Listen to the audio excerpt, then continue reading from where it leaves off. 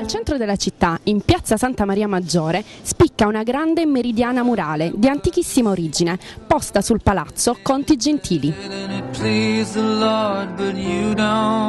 Prende nome da Papa Pio IX che la fece edificare. Questa è la Fonte Pia.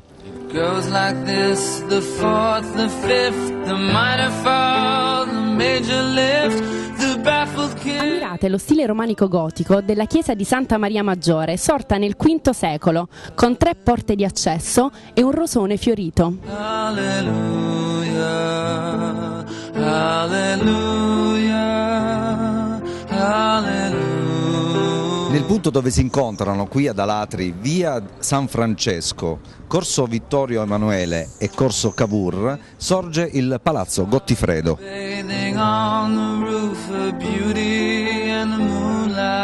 Il palazzo Gottifredo si presenta come un imponente complesso architettonico costituito da due organismi, una casa torre a tre piani e un ampio edificio. L'ingresso principale alla torre, costituito da un portale tipicamente gotico, si trova a lungo corso Vittorio Emanuele.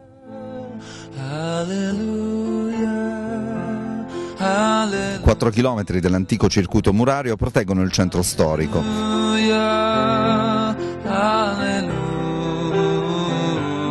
Le porte antiche sono vicine o corrispondenti alle omonime chiese ancora esistenti o distrutte. Esse sono San Benedetto, San Francesco, San Nicola, San Pietro, l'unica che non ha un nome religioso, e la Porta Portati. Seen your flag on the marble arch. Love is not a victory march. It's a cold and it's a broken hallelujah. Devo Giuseppe Morini da questa loggia qui alle spalle di Santa Maria Maggiore e, e la città alatri dei ciclopi. Sì. Questo ciclope con un unico occhio, è un ciclope buono, cattivo, com'è il ciclope di Alatri? No, il nostro ciclope è buono, perché ha fondato e ha creato una città bellissima. Noi abbiamo l'Acropoli con la cinta muraria ciclopica appunto, che è l'unico sito archeologico ancora vissuto. Noi abbiamo altri esempi a Micene, a Creta forse, però sono siti archeologici e basta. La nostra Acropoli c'è ancora vissuta, c'è l'Episcopio, c'è la cattedrale, c'è un parco giochi dei bambini, è un salotto e di sera è molto molto piacevole soggiornare su al giardino dell'Acropoli perché c'è un'aria, un venticello veramente, veramente da apprezzare e gradevole. Quindi il nostro ciclope appartiene alla famiglia dei buoni, come tutta la città di Alatri poi. E noi Molto infatti, silenzio. Sì, uh... noi siamo su questa loggia dove abbiamo la gran parte delle opere d'arte della città a portata di mano. Siamo proprio di fronte alla chiesa degli Scolopi, una chiesa di stile barocco, è una chiesa che ancora funziona, momentaneamente viene adibita ad auditorium occasionalmente perché era legata al collegio del, dei Conti Gentili, era un collegio che è stato gestita dai Prati Scolopi fino al 71, poi è stato abbandonato per mancanza di, per mancanza di vocazioni ed è rimasto una scuola pubblica, cioè il liceo classico che purtroppo sta soffrendo iscrizioni in quest'ultimo periodo. Siamo nella piazza Salotto dell'intera provincia, non c'è in provincia di Frosinone una piazza altrettanto bella e questo mi è riconosciuto, non è che lo dico per orgoglio campanilistico, che il sindaco deve sempre un po' enfatizzare il suo territorio e la sua città, però questo è un riconoscimento ufficiale. E poi abbiamo la chiesa di Santa Maria Maggiore in stile romanico, molto bella all'esterno e molto bella all'interno.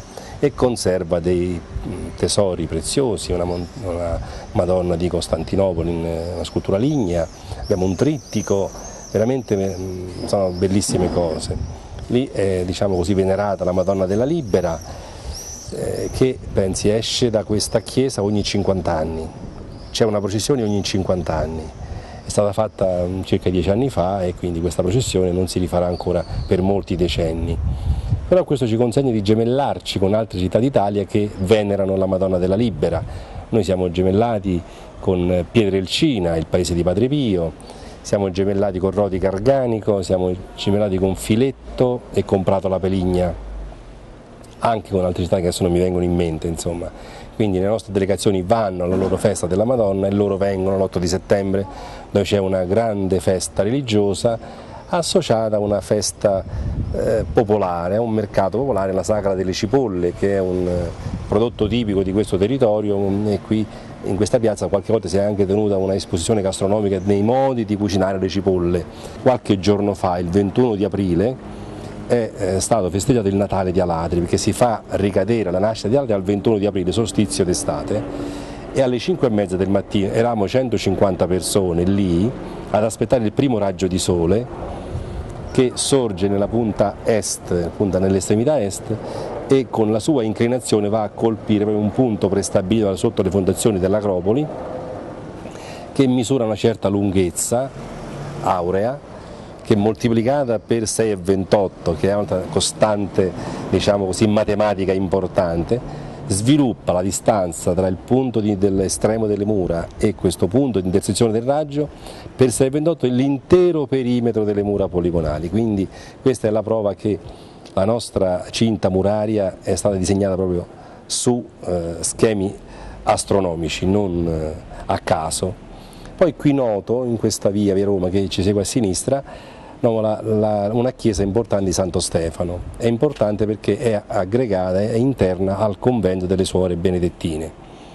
Questo convento mi fa pensare a tante cose, intanto è un convento di clausura e all'interno di questo convento c'è l'adorazione perpetua. Notte e giorno due suore adorano il Santissimo Sacramento e pregano inginocchiate davanti al Sacramento a turni di due ore. Questo non succede regolarmente in tanti altri conventi, qui ad Alatri succede ancora questo.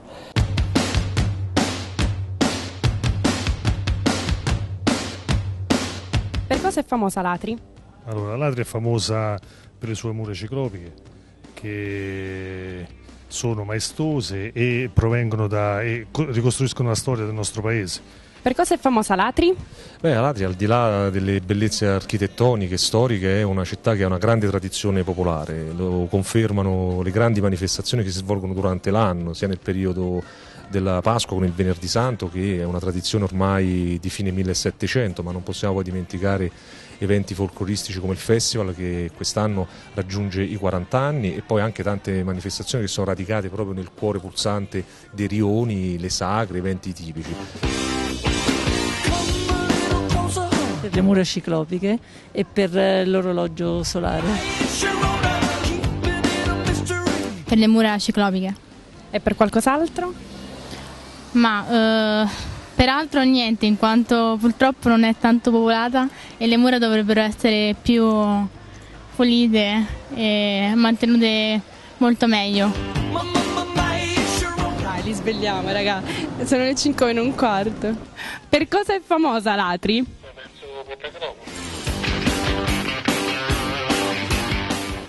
Cosa è famosa? Sì. No, non mi riprendete. Ma eh, mura ciclopiche, mh, mm, poi anche il mangiare si mangia bene. Buonasera. Alatri è famosa per? Per, eh, belle cose, le mura ciclopiche. E poi?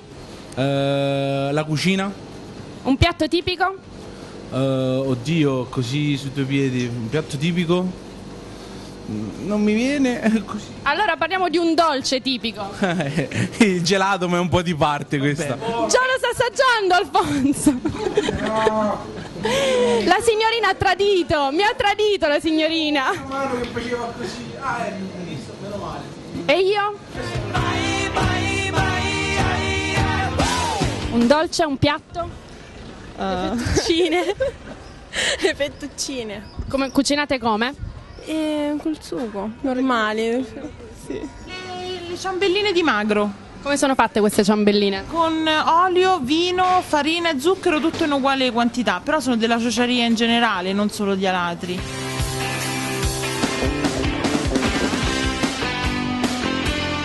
Eh, per le sue mura ciclopiche, insomma, per la sua leggenda, suo, la sua area di mistero. Ragazzi, mi sento male, venite. Uh. Non è possibile, anche in farmacia. Che gli sarà successo?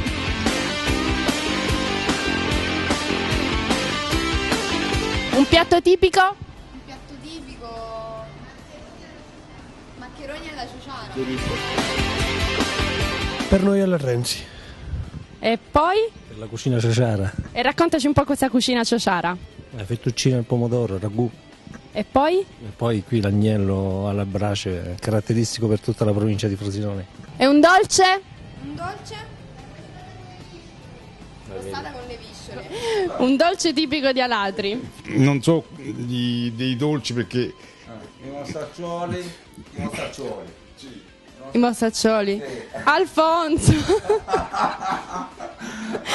Oddio, sta ovunque Alfonso, ragazzi! Aiuto! Vai, te ne vai! Un piatto che cucina sua moglie spesso. Mia moglie fa, eh, mia moglie non è capace, è la mia suocera. Sua suocera. I fini fini, E cosa sono? Ce li descriva? cheruni. Conditi con cosa? Co- una volta si facevano con, con le cose di pollo, tutti gli avanzi di pollo. Adesso gli fanno col sugo.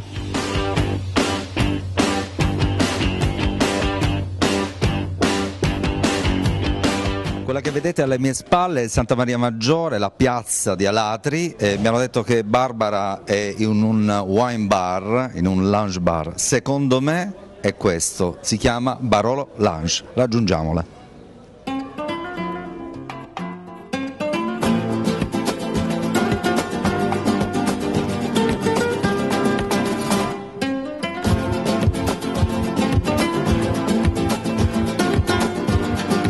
Siamo in compagnia di Daniele Scaccia, proprietario del eh, locale Barolo Lounge e gli chiediamo come ti è venuta in mente questa idea di questo locale, di aprire questo wine bar. Ma eh, un po' di pazzia c'è stata in realtà perché non è un discorso semplice, e poi tutto per passione del vino, basta, solo per questo motivo qua. Quindi è proprio una passione che hai che l'hai fatta sfociare in un lavoro. Esattamente, sì. Praticamente ho unito la, la mia passione al, al mio mestiere, quindi è stato bello così. Raccontaci un po' che gente frequenta il tuo locale, che tipo di giovani, adulti. Ah, le fasce d'età vanno da- dai 25 in realtà, dai 25 a salire, perché il discorso della degustazione magari prevede anche un po' di, eh, lo dico esperienza, però ci vuole, ci vuole un po' di concentrazione nel bere. E poi c'è di tutto, ci si diverte con, eh, anche con i ragazzi comunque. Dalla tua esperienza, un vino che ti piace, il tuo preferito, quello che ci consiglieresti? Barolo, Barolo tutta la vita.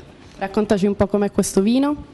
Beh, ehm, vino 100% nebbiolo, nebbiolo sarebbe l'uva con cui viene eh, prodotto, Eh, un vino che fa molto legno, quindi è un vino che viene passato in, eh, in botte per, per parecchio tempo, vino molto strutturato, molto tannico, un po' scarico di colore a volte, anzi quasi sempre, e ottimo con la carne, quindi sempre comunque con bistecche e, e qualsiasi tipo di carne. Visto che ci troviamo ad Alatri, consigliaci un vino adatto a un cibo tipico, un piatto tipico di questa città. Eh beh, ovviamente Cesanese del Piglio, quindi si tratta di un rosso molto strutturato e di solito molto alcolico, quindi eh, da abbinare con eh, carni abbastanza condite, quindi carni tipiche come, come possono essere l'abbacchio o altre cose del genere. Sappiamo che sono famose anche le fettuccine qui ad Alatri. E come le possiamo abbinare le fettuccine? A quale tipo di vino? Eh, le fettuccine sempre al sugo con un buon vino rosso, Cesanese va benissimo. E la gente che ti viene a trovare, qual è il vino che preferisce? Cosa gradiscono di più? Eh, qui, qui si vendono molto bollicine, quindi spumanti a metodo classico, Franciacorta. Quindi preferiscono più un vino bianco rispetto... Sì, sì, eh, sia in estate che in inverno. Eh, si va molto molto con i bianchi. Ricordiamo alla gente che ci sta guardando comunque che bisogna bere con cautela e soprattutto alla guida, prima di mettersi alla guida non bisogna bere. E invitiamo la gente non di Alatri a venire a bere qui al bar. Barolo Lounge, Gli offriremo un bel bicchiere di vino, senz'altro. quello che gradiscono loro. Ovviamente sì. Allora, noi chiudiamo, ti ringraziamo per eh, l'accoglienza che ci hai dato e vorrei chiederti un vino da associare a questa trasmissione e alla nostra intervista. Un vino bello brioso. Beh, ehm, adesso non mi viene nient'altro in mente che il Barolo. Perché è il tuo preferito, allora ci consigli quello. Grazie.